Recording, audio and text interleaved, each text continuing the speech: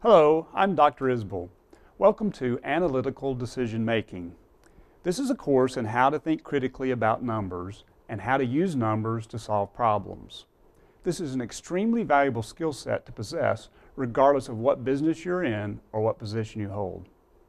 Don't let the title of the course or the course description intimidate you. I'm not going to try to turn you into a mathematician, but you really need to understand something about the coming changes in the world of business. We've long known that those who have strong quantitative skills are, all else equal, more valuable to employers. And there are indications that these skills are becoming even more valuable. You've probably heard the buzzwords data mining, data analytics, big data, data visualization. Some of the world's best known organizations like Google, Amazon, US government collect massive amounts of data and they're analyzing that data. In fact, some people say that Google isn't really a search engine company, it's a data analysis company.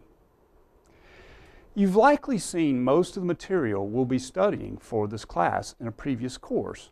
You just didn't look at it quite the same way that you'll be doing here. To give you a hint, you'll be doing more writing for this course than calculating, and the calculations will be done as projects. We'll be looking a lot at the applied field of mathematics known as statistics. As we move through the course, I want you to think about numbers or data as something generated by a process. And it is the process that's important, not the numbers. We can't always observe the process generating the data, so we use the data to help reveal the process. In this way, the analysis of data is not an end in itself, it's just the first step.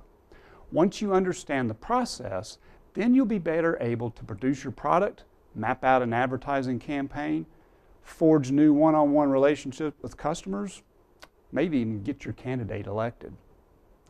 Hope you enjoy this course. I know that I enjoy teaching it.